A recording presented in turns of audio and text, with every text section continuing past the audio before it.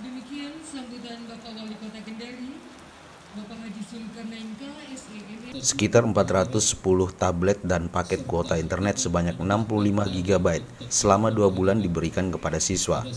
Selain itu diberikan pula bantuan dana pendidikan dan seragam sekolah bagi pelajar yatim piatu atau siswa yang dianggap kurang mampu senilai kurang lebih 20 juta rupiah.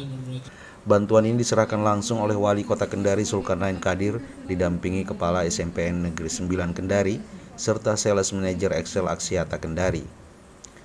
Wali Kota Kendari sangat mengapresiasi program yang dilakukan oleh SMP Negeri 9 Kendari yang menggandeng pihak sponsor dan berharap kegiatan positif seperti ini bisa diikuti oleh sekolah-sekolah lain di Kendari dalam membantu siswa yang terkendala dalam proses belajar di tengah pandemi.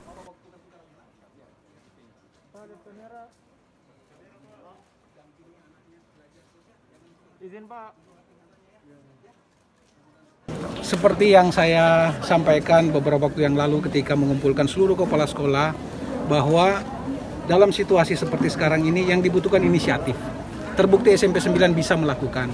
Saya juga percaya dan yakin sekolah-sekolah lain juga mampu melakukan dan mungkin bahkan sudah melakukan. Ya. Saya berharap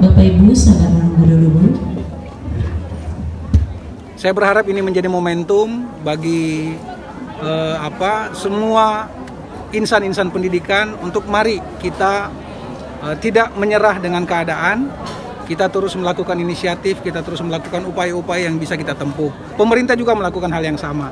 Alhamdulillah dengan inisiatif hari ini ya ada uh, sekian 410 tablet yang dibagikan untuk dipakai anak-anak kita dalam support proses belajar mereka dari rumah. Kemudian juga ada tadi paket data yang disampaikan oleh pihak XL, kemudian juga uh, bantuan berupa dana pendidikan ke beberapa orang yang memang dianggap membutuhkan.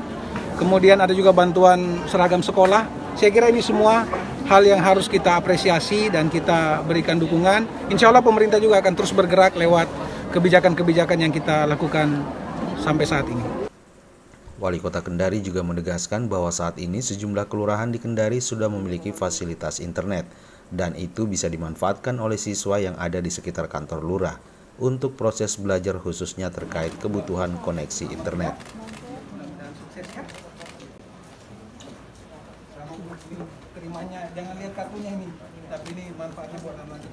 Dari Kendari, Aunria Aurora, Make.tv melaporkan.